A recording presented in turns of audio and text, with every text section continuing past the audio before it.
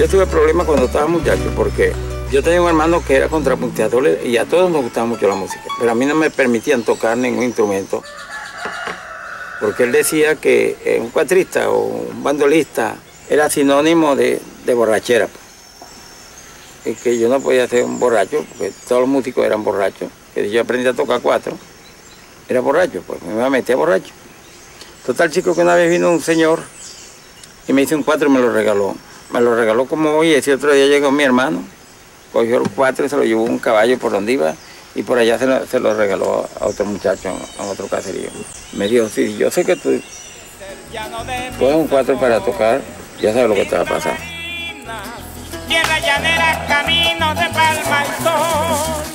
Donde se pone más bella siempre la tarde cuando matiza el paisaje, pinceles de un arrebol. Linda Tierra llanera, camino de palma al sol.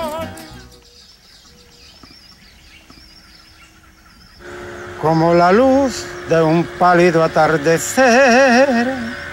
Se fue tu amor para nunca más volver y me quedé solito sin tu querer, cerca del río viendo las aguas correr. Recordaré con la primavera gris una ilusión de ese amor que ya perdí. Canción que se lleva el río entre espumas y murmullos, acuarelas de cocuyos, zarpicadas de rocío, me recuerdan, amor mío, la luz de los ojos tuyos. Yo nací chico en un pueblo, el pueblo más alejado de Barina, ha sido mi pueblo, Arismendi. Por ahí pasa el río Guanare, que es el mismo que pasa aquí en Guanare, que viene de los Andes. Yo nací en ese pueblo, en un campo llamado La Morita, un 7 de junio del año 31. Yo nací y me crié en un fundo. Ahí se aprende el manejo, desde uno pequeño va aprendiendo el manejo del fundo, el trabajo cotidiano que uno tiene. ¡Abuelo! Acá.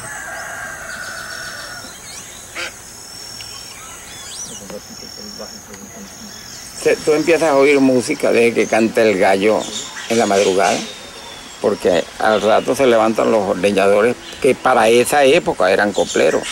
Ahora los ordeñadores no cantan, los ordeñadores no saben cantar una vaca ni amansar una vaca. Son ordeñadores porque son ordeñadores y la mayoría son llaneros, como te dije antes, porque nacieron aquí, pero que del llano no conocen nada. Entonces los ordeñadores eran copleros porque ellos le cantaban una copla a cada vaca que iban a ordeñar. De acuerdo al color de la vaca, se llamaba la vaca y el ordeñador le improvisaba un beso a la vaca. Los nombres podían ser Noche Oscura cuando una vaca era negra totalmente, pero cuando tenía, era una vaca negra y tenía una parte blanca en la frente, se le ponía lucero. Y cuando era esas vacas manchadas, como las vacas Horten, casi siempre se le ponía un nombre mariposa o algo de ese tipo. Por esas cosas que nos pasan en la vida, cuando sufrimos sin pensar un tropezón, había jurado no volver a enamorarme, pero obedezco lo que manda el corazón. Yo era cantador, como decimos nosotros desde pequeño, porque en mi casa y, al frente de mi casa que había un acto, todo el mundo cantaba. Corazón enamorado, corazón enamorado, es como una llamarada, si le pega buena brisa, siempre vuela y se propaga, pero si le falta amor, se pone triste y se apaga, y muere poquito a poco, igual que la verdolaga. Le digo a mi corazón, le digo a mi corazón que en el amor no me falle porque yo te quiero a ti como no he querido a nadie y te seguiré queriendo por donde quiera que vayas porque tu amor en mi vida para mí es lo más que vale.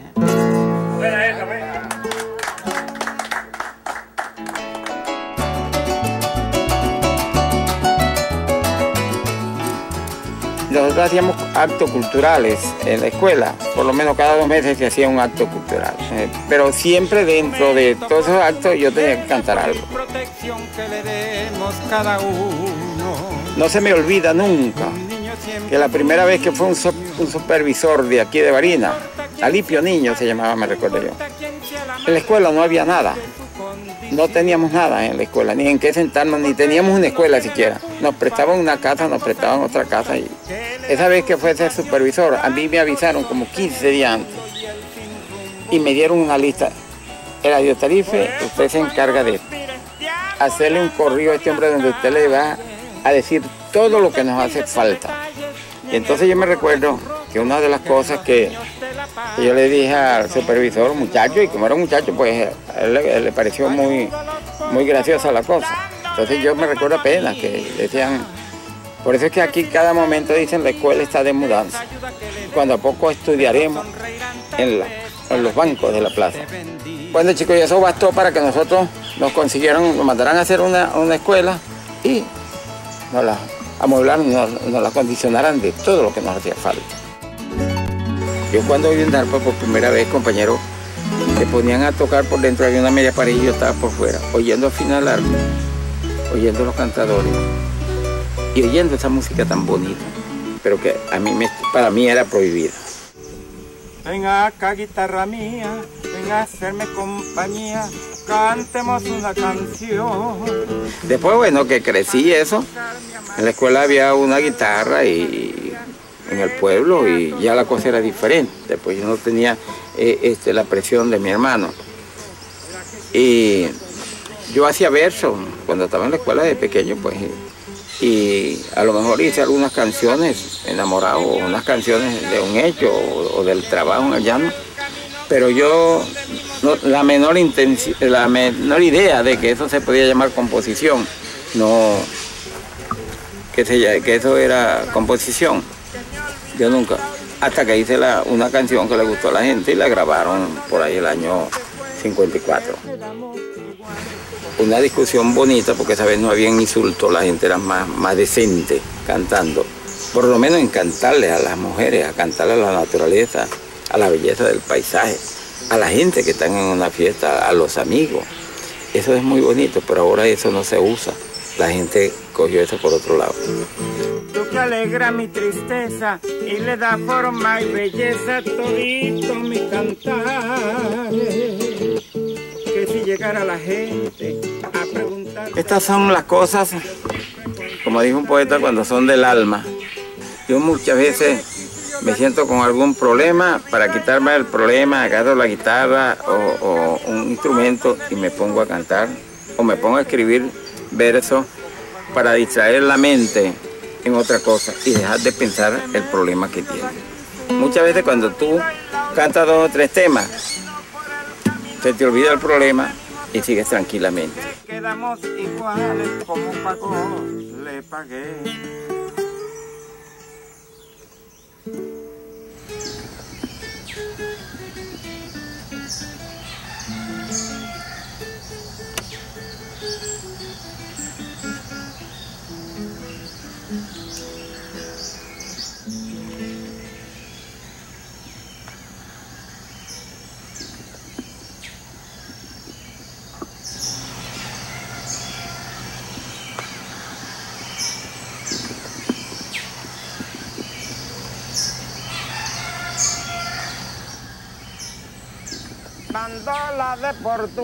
El llano es el canto, el canto es la música de arpa, bandola y cuatro. Nuestra música pues para nosotros significa la alegría de nuestra vida. Y muchas veces cantamos canciones de recuerdo, canciones de nostalgia y como también se canta de alegría como se dice muchas veces, a veces se llora de alegría, como se llora también de tristeza. Cuando la compañera de mi cuatro, que tengo el corazón como capilla sin santo. Solo le pido a mi Dios con el alma pedazos para que vuelva otra vez y estrecharla entre mis brazos y ser feliz. Para mí ser llanero es algo muy especial porque hay un refrán por ahí que dice que llanero no es todo el mundo.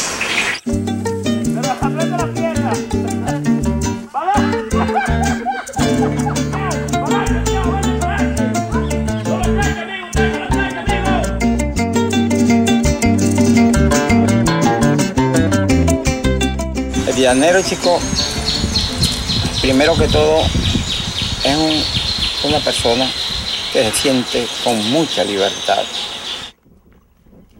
La mejor parte de la historia de la independencia de nuestro país se hizo en este llano, se escribió en este llano. Estar en esta tierra es sentirse hijo de Bolívar, hijo de Páez, hijo de todos y hermanos de toda esa gente que derramaron su sangre por nuestra independencia. Nosotros aquí consumimos mm, carne de chihuire, carne de pescado. Usamos la carne de, de, babo, que ahora es que se come. La comían los nativos y nosotros decíamos que por qué los nativos comían eso, porque nosotros no sabíamos lo bueno que era la carne. Después que empezamos nos enseñaron a comer la carne de babo ahora.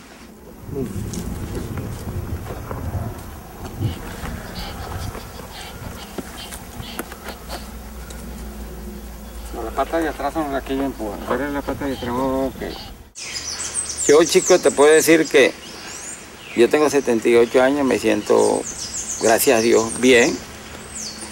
Este, me gusta la pesca, es uno de los deportes que yo practico porque la pesca es como una especie de higiene mental que mientras tú estás pescando no estás pensando en otra cosa porque tú estás pendiente de, de, del nylon, de la cabulla, como tú digas, que el pescado se pegue y eso. Estás, estás pendiente de eso. Entonces a ti se te olvida lo demás.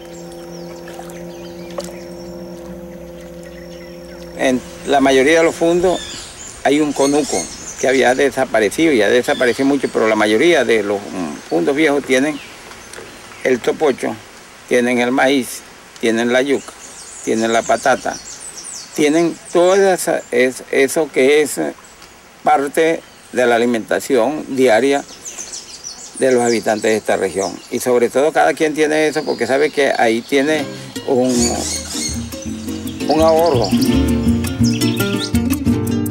Eladio, hay que amarrarlo aquí. ¡Eladio! ¿Qué tiene aquí? Mire, corrame Eladio en la cocina, ¿qué hace Eladio allá? Ah, eso es. que me está enamorando de las muchachas allá.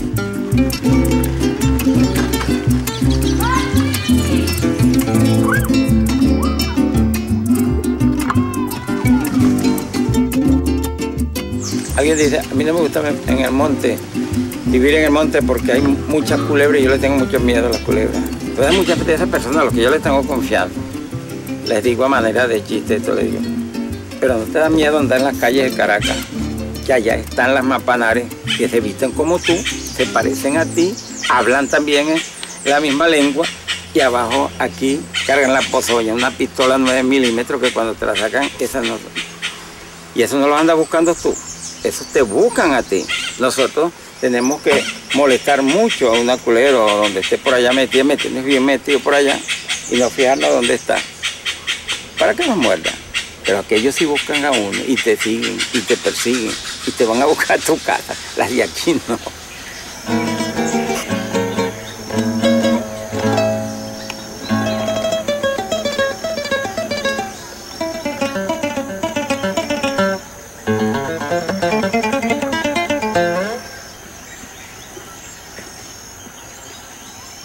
El llano, chico, es un manantial de poesía cuando tú vas por un camino a caballo, a pie o vas por un río, a donde tú ves, de los lados que tú ves, en los manglares, en, los guamos, en cada parte de eso, ahí están los versos guindando, están las melodías, como si fueran nidos. Que tú de eso no tienes sino que recoger cada parte y las vas tejiendo con otra parte para hacer una melodía o hacer una letra alusiva al llano. Yo traigo un cuatro Yo he hecho muchas canciones a diferentes partes de este país, inclusive algunas partes que yo no conozco este, directamente porque no he estado ahí, no lo he conocido a través de su historia, de lo que me han contado, de la parte geográfica, de lo que a uno le llega. Marina que me reyó sobre la tierra llanera, en la copla sabanera, es camino palma y sol, con flauta de caracol, les ha mandado conmigo un gran abrazo de amigos y un canto lleno de amor.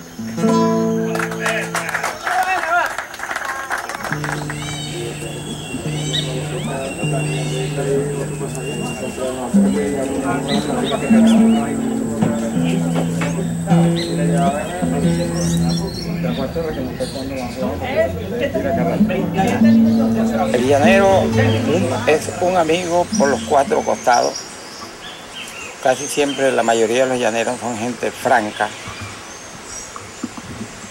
gente que tiene el compañerismo por delante, la amistad.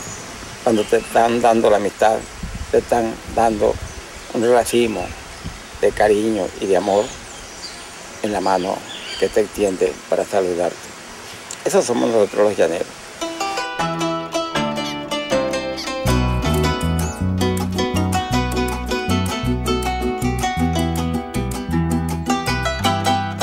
Bueno, Eladio ha sido una de las figuras, los baluartes de este país, gran compositor, cantante también, este, buen amigo, es un llanero nato, como dice uno aquí en el llano. Barina era una, una ciudad pequeña, donde todo el mundo se conocía, pues entonces tuvimos la oportunidad de encontrarnos y estaba yo muy muchacho, tenía como 16 años más. Y de ahí en adelante hemos mantenido una, una gran amistad. Me encontré con Eladio Tarife y Luis Lozada del Cubiro y José Romero Medina. Entonces no teníamos cómo tocar, porque no teníamos arpa. Y como dijo el maestro Eladio, pues nos prestaban el arpa algunas veces, otras veces entonces, eh, no, no podía el arpista, pues necesitaba su instrumento. El dueño del tocar, el dueño del arpa, pues. Entonces dijo Eladio, yo voy a hacer un arpa. Y hizo, se fue por ahí a un taller de carpintería y hizo el arpa. Esa arpa fue con quien grabamos a, a- a Linda Barinas. Exacto.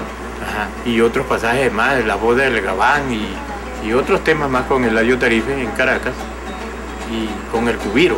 Eso fue el año 63, 64. Exacto.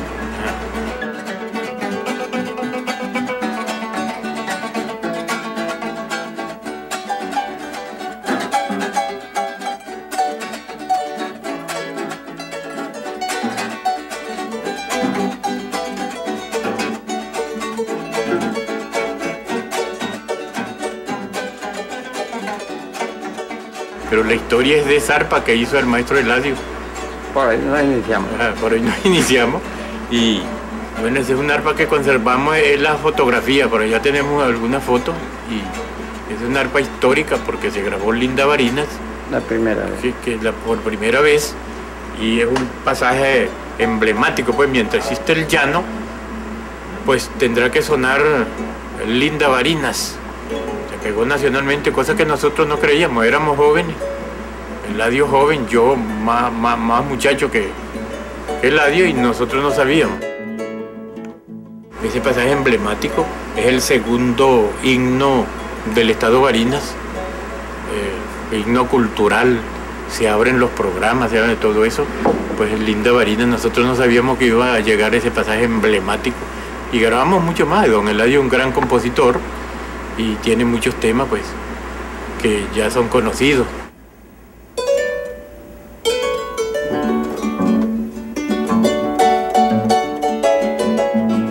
ha gozado pues del, del privilegio de que todos sus amigos lo han apreciado y además tiene lo fundamental, que es el gran concepto de la amistad.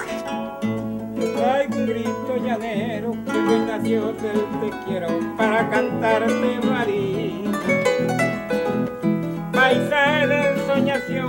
te ha regalado Dios frente a la cumbre sandina.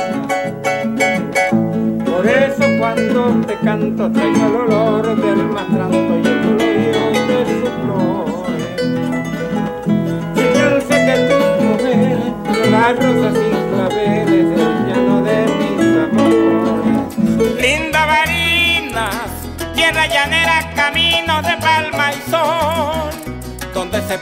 más bella siempre la tarde cuando matiza el paisaje pinceles de un arrebol.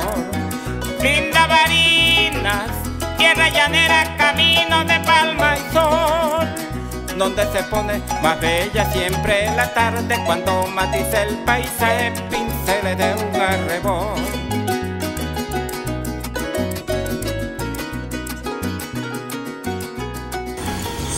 De dentro de todas esas cosas que yo les he hablado a ustedes de mi juventud, de mi niñez para acá, pues. Desde este largo camino que yo he recorrido hasta ahorita, todavía yo sigo componiendo mis canciones y donde me permiten cantarlas las canto con el mismo cariño, con el mismo ahínco de siempre. Y así seguiré cantando hasta el final, Para cantarte varinas, paisajes de ensoñación que te ha regalado Dios frente a las cumbres andinas. Por eso cuando te canto traigo el olor del mastranto y el colorío de tus flores. Si bien sé que tus mujeres son las rosas y claveles, el llano de mis amores. Linda Varinas, tierra llanera, caminos de palma y sol, donde se pone más bella siempre la tarde cuando matiza el paisaje, pinceles de un arrebol. Linda Varina, tierra llanera, camino de palma y sol, donde se pone más bella siempre la tarde cuando matiza el paisaje, pinceles de un arrebol.